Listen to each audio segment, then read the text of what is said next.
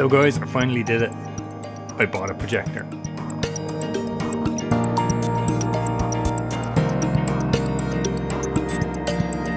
So I can't believe I've finally been able to add a 16mm projector to my collection here at home. I was really excited to get this. But before we get to the projector, let's kind of jump back in time to what started all this off.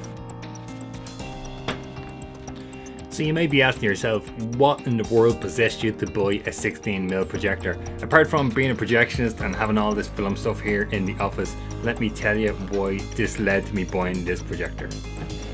So I went to my barber's to get my hair cut a couple of months back and he had these old World Cup films that somebody sort of gave to him. Uh, history of the World Cup, World Cup 74, uh, 100 years of football, all this kind of thing. He's into football, he didn't really know what film was. He knew I was a projectionist and offered them to me. Did I want to take them or were they just worth sort of throwing out? So, of course, every projectionist is going to take any free film that's going to try and keep it alive.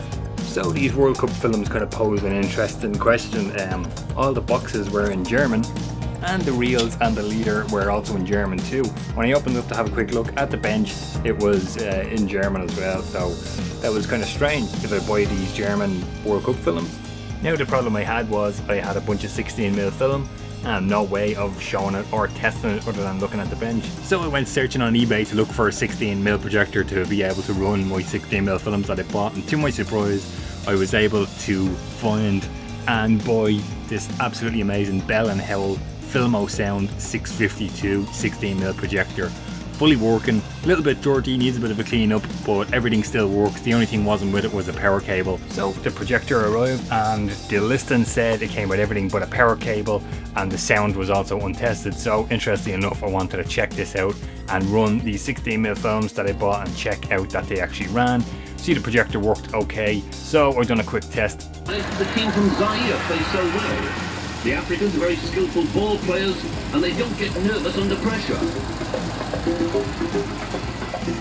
Who's playing at the World Championships for the first time is Australia.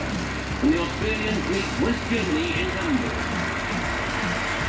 The mascots of the visitors, a koala bear and a kangaroo. So I was really excited to find out that pretty much everything on this projector worked it needs a bit of a clean up, but I'm really delighted that I was able to grab this 16mm projector listing off of eBay and add a 16mm projector to my collection here. So now I have a couple of these World Cup films that I can run and check out, and I haven't even checked them fully out yet, to be honest, to go through and see what way they are. They're a little bit scratched and stuff, but that's only to be expected.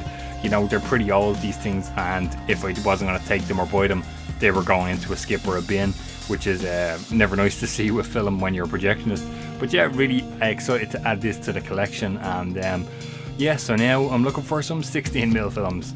So there you go guys, that's just a quick video, a vlog about my Bell & Howell Filmosound 652 16mm projector. Just a kind of story of how I came about to buy it and adding it in here to my movie collection. Thanks for watching the video guys and I will talk to you on the next one.